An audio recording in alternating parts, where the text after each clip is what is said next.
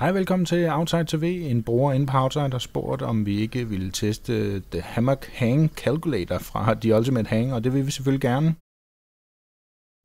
Når man umiddelbart ser appen her første gang, så kunne man godt frygte, at det var nogle matematikere, der gerne ville lege med nogle formler, der har lavet den, men øh, da den koster 18 kroner, så er det jo ikke sikkert, at man vil støtte den leg.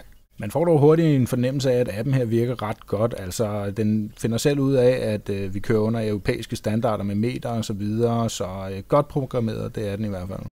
Før man går i gang, kan man jo for eksempel lige kigge på Quick Start guiden her, der lige hurtigt guider ind igennem, hvad appen her egentlig kan.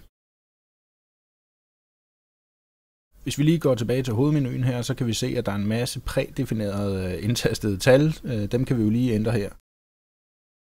Vi kan for eksempel sige, at der er 5 meter mellem træerne her, og så er min hængekøj altså 3,5 meter. Så er der jo noget med, hvor højt du kan sidde og så videre. Det, det kan man jo altid ændre, men øh, lad os sige, det er fint. Sådan der. Så kan man se, at tallene ændrer sig, og hvad kan vi så bruge alle de her tal til? Jo, jeg vil ikke gennemgå dem alle sammen. Øh, klik på linket i videoen for at se artiklen, der gennemgår jeg det hele. Distance between anchor points er afstanden mellem træerne, eller hvad man nu bruger til at sætte sin hængekøj op med. Øh, nedunder har vi shear force, øh, der trækker indad i kilo, altså i princippet, hvor meget rødderne kan klare, før at øh, træet vælter ned over dig. Ridgeline length er, hvor langt din øh, ridgeline skal være. Jamen kan man så bare indtaste de her tal, og så få den bedste nat nogensinde i hængekøjen? Ja, altså i princippet så kan du faktisk, øh, men der er altså nogle ubekendte, der er lidt svære at få fat i. Altså hvordan vil du lige måle afstanden mellem træerne, hvis du ikke lige har en tomstok med i rygsækken for eksempel? Og hvad med afstanden fra jorden og op til der, hvor du hænger din køje fast? Altså og hvad med vinklen, som din køje egentlig skal hænge i? Vinklen har de faktisk sørget for, og den virker ret præcist. Normalt siger man, at man skal hænge sin køje i 30 grader, og her rammer vi ret præcist med cirka 31 grader. Du kan faktisk også gøre det, at du tager den her angle måler ind til din øh, hængekøje, og så kan du trykke Save Angle, og så får du faktisk de andre tal, og på den måde kan du så, hvad kan man sige, på en lidt anderledes måde få sat din køje perfekt. Det er sgu okay smart.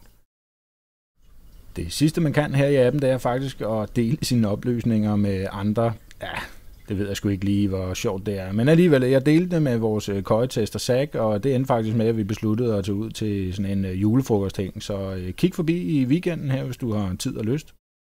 Hvad kan man så bruge den her app til? Jo, altså i princippet ikke så meget. Man kan sige, hvis du virkelig gerne første gang, du nogensinde prøver at sætte din køje op, vil have det perfekte hæng, jamen så gå ud i haven eller ud i skoven, og så indtast de her oplysninger på dig selv og din køje og målene osv., og og så kan du faktisk øh, hænge din køje i sådan en, en perfekt vinkel, om man vil.